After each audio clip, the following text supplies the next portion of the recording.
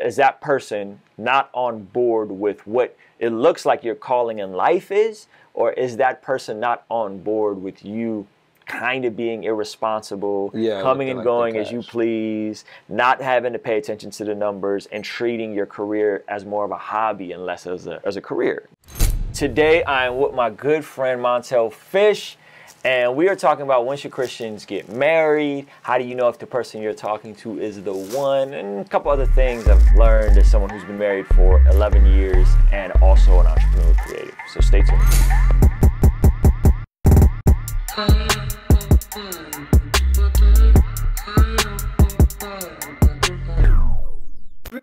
Ruslan. What's going on? This is Ruslan with KingsDreamENT.com. This channel exists to encourage, empower, inspire you to live out God's dream. This is like our fifth or sixth time starting this video. It keeps crashing, but we're believing that uh, the stuff we're going to talk about is going to help some of you guys. Uh, basically, my good friend Montell Fish is in town. What's up, bro? How you doing? guy. Chilling. How are you, bro? This is working. I'm happy that this is working. I'm happy that you're here. Uh, you came and hung out with me today, uh, yesterday actually, last night, and you went to the gym. Mm-hmm. And I'm force feeding you healthy food that you don't want to eat. No, not at all. Montell's in rebellion, ladies and gentlemen. Uh, sure. But we had this really cool conversation, man, about marriage, about um, some things you're kind of working through personally that we're going to get into, and uh, something that I think you believe that a lot of people are kind of wrestling through, younger believers, um, based on the video you just did on your YouTube channel about. Um, when will you find your wife? When will God reveal who your wife is? And so I was like, man, instead of just doing another video. You've been on my channel multiple times. You actually one of the first people to hop on here and do an interview. You and Chaz. So I'm grateful for you guys. I thought, dude, let's talk about this this idea of of marriage, of being an entrepreneur, the tension that many people face and wanting to pursue their dreams yet Yeah. settle down. And I just thought it'd be super cool, man. So um, just kind of tell me where you're at with with this whole thing. Yeah, man. Um, well, so I, I I released a video. The video is called "She Will Come When It's Time," and basically, Very spiritual. um, yeah, it's definitely super spiritual. No, but um, it was actually it was actually inspired by something. Well, one, it was like straight like.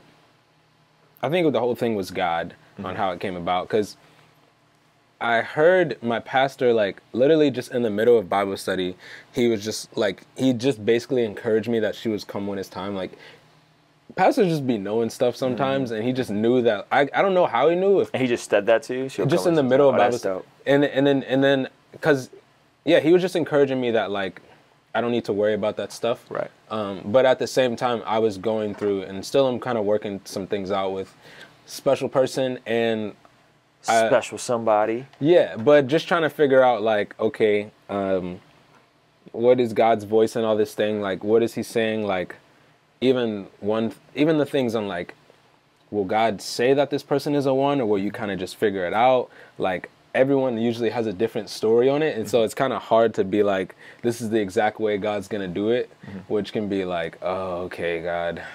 But yeah, so we talked about that last night, and I mm-hmm. think it could benefit some people if we chat about it today. So.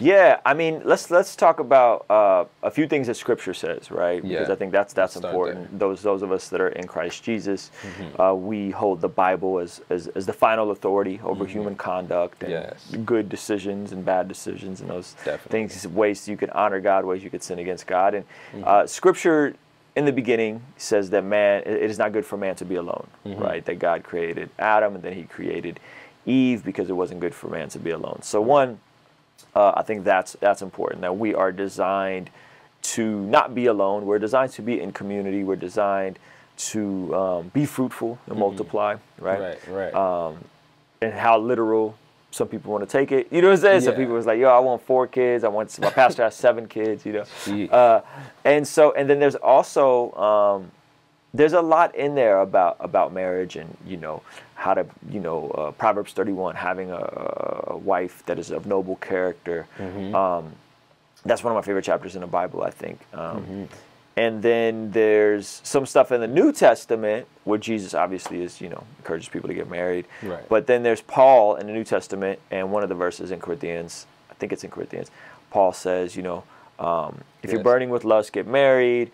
But I wish that you guys would all be like me, Yeah. right? Because then that way you First can kind of Corinthians 7. focus. It's like Corinthians seven, yeah. Yeah, Uh, you kind of so. focus your, you give all yourself to God, right? Yeah. And the question on who Paul was, whether he was married or not married, the question on was he widowed. There's a lot of debate amongst that in terms of scholars. Mm-hmm. Um, one of the biggest things I think many people end up missing when reading scripture is the cultural context of what was going on, True. right? So what's happening in terms of Christians being persecuted under the Roman Empire, right? In terms of a lot of folks being martyred at that time. So we have to factor in what's the social tension of being a Christian. And are they? Are, why would he tell them not to get married, or like, I wish you would remain like me because you can get? It, well, when you get married, you, your life gets complicated. You gain responsibility, mm-hmm. right? yeah. And so I think, from a from a cultural social standpoint, I think what he was saying was not just on some like, yo, uh, don't get married because that's the ideal thing to serve God. Mm-hmm. I think he's actually saying, hey, under this current climate, hmm. it's probably not a good idea because someone might get martyred. You're gonna have to be a single parent. It's gonna be messy. You Yeah, know, um. I'm not saying that's that's what he's saying. I'm saying that's what I think he may have been meaning by that passage because yeah. I don't want to infer my opinion on scripture. Um, and so, all in all, man, I think marriage is a beautiful thing. Right. I think the tension that a lot of people are facing is when, when, to get married. How Yeah. does that look? No, for sure. You know, um, you are. How old are you? I'm 22. 22. Yeah. So I was 23 when I got married. Man, Yeah, that's crazy. Yeah, I'm. I'll be 35 next month, New Year's Eve. Uh, I don't have my my birthday anywhere public, and I don't like. I don't like the random like shout outs on the birthday. You know, Facebook reminders. Right? Oh, yeah, for Uh, sure. But I'll, I'll be 35 this year, uh, New Year's Eve, and um, Mm-hmm. I've been married 23, so it'll be 12 years this July. Man. Yeah. That's amazing. Yeah. And I definitely didn't do it right. Go quote unquote right. You know what I'm saying? Um, we we We'll were Get to the good stuff. Yeah. we yeah, we were I, I was 19 my wife was 17 when we met. Okay. we dated for four years. I mean we did it right in the sense that like we didn't have sexual intercourse you know what i'm saying? That's probably the only thing right that we did. You know or the, the right thing the only right thing that i did. Uh, but we got married young. I uh, was not financially independent. Mm-hmm. i was not responsible. I was not making money. I was not. I was just not in a, in the best spot. I knew that I didn't want to burn with lust, Yeah. like Paul said, and I knew that she was my wife. I knew that my wife was my wife from the very first real conversation we had. Wow. Um, I, one of the few times I feel like God spoke to me and was like, "This is your wife," or maybe it might have just been me. You know what I'm saying? We met at a Starbucks. Neither one of us drank coffee at the time. You know what I'm saying? And I remember that first conversation and like, "Yo, this this is this is my wife. This is the one." You know? Dang. And so we were young and we made a lot of, in terms of the way we got married, like I ended up living uh, the first nine months. I had a condo with my mom that I co signed for, that I shouldn't have co signed for. And we ended up living in the top story of that condo. Oh, my. Um, horrible, horrible decision. Sheesh, yeah. Uh, and then we finally moved out about 11 months into our marriage, 10 months into our marriage, we finally Okay. moved out. And I remember people asking me, like, how are you going to provide for your wife? How are you going to do these things? You know, and I was like, still in college and trying to do music. And this is before the internet really took over. This is 2008 is when I got married. Wow, yeah. And um, yeah, man, and it was rough. Like, it was, it was rough. Uh, but what marriage did for me is that joint definitely grew me up. Like, it forced me to man up. Uh-huh. It forced me to be responsible. It forced me to figure out how to hustle and make more money. Yeah. It, and then fatherhood just amplified that even more. Man. And so the very thing that I thought uh, was going to slow me down on my dreams is the thing that actually empowered me to go after my dreams, which was my wife, Wow. marriage. Not that my wife, I didn't think my wife was going to slow me down. I thought the idea of marriage being this responsibility thing that you got to die to your desires, which you do in a lot of ways. But it was the very thing that propelled me to become full time. And my wife was the one who told me to quit my job. And she was a stay at home mom. And my wife has always just believed and had faith in me. You know what Mm-hmm. I mean? And so, yeah, man, that's kind of like in a nutshell my experience. And yeah, well, that's interesting because it's like, okay, so you have the situation. Mm-hmm. Let's say two people don't agree. Let's say you're like Hypothetical. hypothetically, of course. but let's say these people don't agree. Uh-huh. And one's like, yeah, I'm gonna be full time artist. I'm just gonna go for it, like send it. Mm-hmm. Yeah. And the other person is like, let's get realistic. It's not really making that much money. Mm. Maybe you should do this for now until like things start happening more. Mm-hmm. And then it's like there's obviously that tension because you're just like, dang, my passion is burning inside of me, and I want to go do this thing that I feel like God's called me to do. Right, right, right. Another person is just like realistic. Um, and then there's the aspect of Abraham and, and Sarah Mm-hmm. when God gave Abraham the promise, right, of uh, of Isaac Mm-hmm. and how old that they would have them. And Abraham, to my understanding, was pretty down. Like he he trusted God, and Yeah. and Sarah laughed, and she didn't think it was possible at all. So hmm. there was like that, but hmm. obviously they still got along. But your case is kind of just like hmm. a blessing in the sense of your wife is just fully supporting. So mm-hmm. it's what do you think? What do you think about that when two people necessarily don't agree? And do you think that the man should do what he feels like God is calling him to do anyway, or he should some way lay down what he feels like he should do to Yeah. to a sense lay down your life for the woman. Yeah. But how far does that go? Yeah, it's that's a great question. I've seen and I've done all the above. I've had a job. You know what I'm saying? Like it's not like I got married and went full time with music. Like Mm. Oh, word, I worked. You know what I'm saying? I, I've, I've, I went full time in 2015. So up until 2015, I worked a job. Oh, yeah. You know what I mean? And so I think I think it's both. I think I think it's both. There's a proverb that says, um, "Those who," I just did a video on this on TikTok. Uh, those who tend to their land will always have abundance of food, but those who chase fantasies are foolish. Hmm. I might be I might be paraphrasing. I'll, I'll look that up. And Yeah. that was the verse that really snapped me into place in terms of like, do I want to do music as a career or do I not? Hmm. You know what I'm saying? Because if I do, then my behavior and the way I approach music has to be approached like a business. Yeah. It can't be approached like some willy nilly hobby where I'm kind of doing it, but I'm kind of not doing it, and I'm not really paying attention to the numbers because I'm not a numbers guy. I'm a creative after all. I'm an artist, right? These are all the Dang, things I told myself. For sure. And I hearing that verse, this was, we got married in 2008, and we had a ton of debt, student loan debt, car debt, Yeah. credit card debt, and in the process, we started. Uh, we discovered Crown Financial at our church. That didn't really do much, a whole lot for us. And then we did, then we discovered Dave Ramsey's Financial Peace University. And so we ended up going on this journey to pay off all of our debt, which is about forty-five thousand dollars of debt Wow. in eighteen months. But best decision we could have ever made. Yeah, that's And so, not only did that teach me financial literacy, that teach me about entrepreneurship. I read his book on entrepreneurship, and I would listen Mm-hmm. to his podcast every day. Mm. And he read that verse.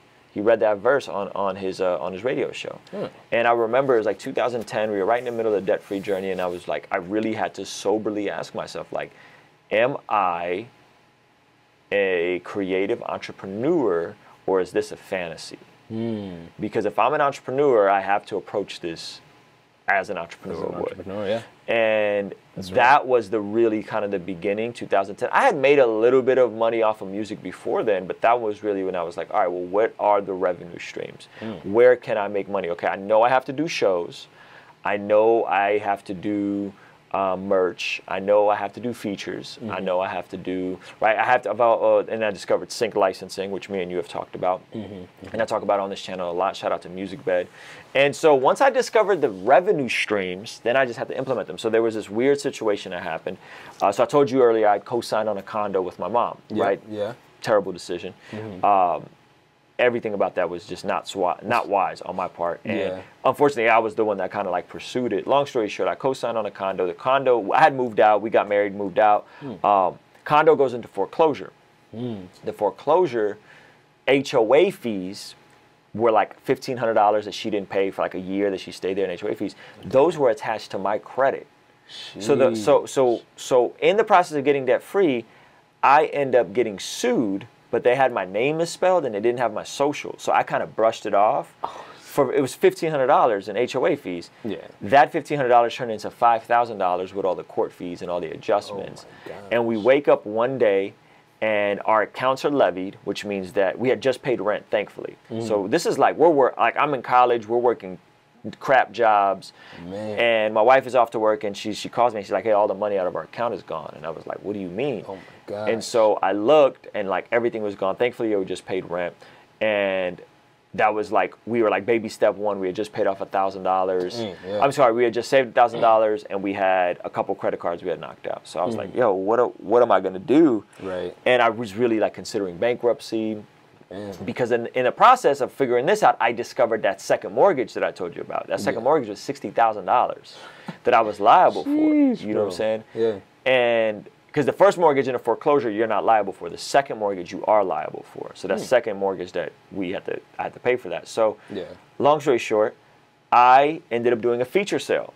For the first time ever, I did a feature sale because I knew one of the revenue streams as an artist was doing a feature sale. Right. And I threw it up on like Twitter at the time. This is 2011, something somewhere in that ballpark. 2010, 2011. Did a feature sale, and bro, within a week, I had made like $3,500 off of Wow. features. Sheesh. Anywhere from a couple hundred bucks to Hmm. like I don't know. I think the most I got at the time was like 600 or 700 for two verses, Huh. and I made like 3,500 bucks in a week. Wow. So that thing that was a curse, that thing that was a poor decision that then I had to pay for the consequence of, ended up turning into one of the best things ever because it reinforced in me that no, I can go out here and get it. I Yeah. can make money off of my art. I can Huh. do it. You know what I mean? yeah. And I never seen that much money from music in such a short period of time. Right. You know what I mean? And so then that got my wheels spinning, and I started thinking about other revenue streams. And Hmm. uh, that sixty thousand dollar debt, we ended up. I ended up just listening to Dave Ramsey. Was Mm-hmm. bold, called them, and was like, "Hey, like, I got a thousand dollars for you guys." Hmm. You know what I'm saying? And they were like, "What?" And I was like, "Yep, I got a thousand dollars for you." You know what I'm saying? Word. And uh, take it or leave it. You know what I'm saying? And they took it. And so I settled the sixty thousand dollars debt for a thousand dollars that I thought I was going to have to file for bankruptcy. So I say all that to say, so now imagine being a creative, Mm-hmm. an entrepreneur, and then you experience something like that, Right. right? And you're like, I could do anything. Right, You yeah. really then start possible. believing that you can do anything. Legit, and yeah. that and that is what happened, bro. Is like that set me on a course to believe I can make more money, to believe I can quit my job, to believe I can find other revenue streams, right? Yeah, and and I wish I would have learned some of this before I was I was married. Mm-hmm. Yeah. But man, sometimes life is the best teacher. Yeah, you you, just know what I'm saying. you just gotta gotta, jump go in. through you know it, what yeah. I'm saying? No, So that's to, real. so to answer your question, um, two people aren't on board, right? Yeah. And I, what I had pushed back to you is I said, are, is that person not on board with what it looks like your calling in life is, or is that person not on board with you? Kind of being irresponsible, Yeah, coming and like, going as you please, not having to pay attention to the numbers, and treating your career as more of a hobby and less as a as a as a career. No, you know what I'm saying? And I was like, that's the deeper question because if so, if you believe God's called you to do music Mm-hmm. and to travel and to, you know, whatever, to, to travel to some degree and to be an entrepreneur, right? Mm-hmm. And that person's not with that. That's different than that person saying, hey. You might want to get a part-time job so that you could have more stable income. type stuff. Yeah. Or, hey, are you sure you could only make X amount because this person over here is making this much? You know what I'm saying? And that's when I was like, yo, look, bro, I have half the subscribers you do, Right. and this is what I make. And I started kind of flexing a little bit. True, You know what I'm saying? And I started showing you some numbers. Like, here's some real numbers of some real money that you could be making because you're independent, you own your masters, Mm-hmm. you have an audience that cares about you and your depth, Mm-hmm. and you could actually go out here and make a comfortable living. You could clear six figures, you know what I'm saying? Pay taxes on that and still take home, you know, 50, 60, 70,000 a year and Yeah. live wherever Wow. you want and, and enjoy the life you want to enjoy and be able to give to your church and save and have a baby and all these things, right? Yeah, yeah. Julio, Julio, Julio, Julio, Julio Jones. I'm from Atlanta, you throw me the ball and I score in the zone. They hit me up for a deal like it's something I do on the phone. Just cause it's me in the studio, don't mean I do it alone. Julio, Julio, Julio, Julio, Julio Jones.